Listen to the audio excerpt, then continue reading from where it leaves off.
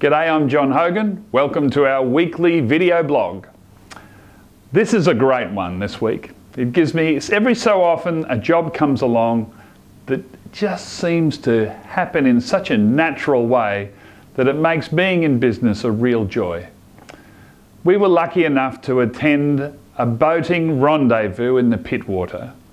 Back Cove decided to gather some owners together and go to visit this rendezvous at Peats Bite on the Hawkesbury.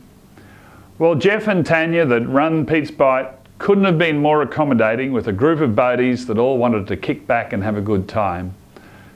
This particular place is renowned on the Pittwater as being pretty special.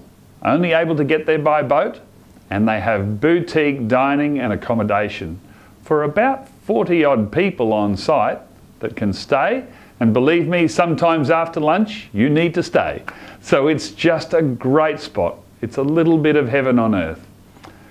The only thing we noticed when we pulled up was it really needed some new berths. And luckily enough, there we were on the spot to be able to find a way to help each other. So uh, they're in their winter recess right now, and when they open for the next season, which happens in uh, September, I believe, we'll have uh, new berthing arrangements for everybody at Peats Bite. So you can enjoy the beautiful lunches in um, confidence with your vessel also moored and still there when you come back after lunch. So uh, thank you, Jeff and Tanya, for your business. And uh, please, if you get a chance on the Broadwater, check it out. It's a great spot. All the best. See you at Peats Bite.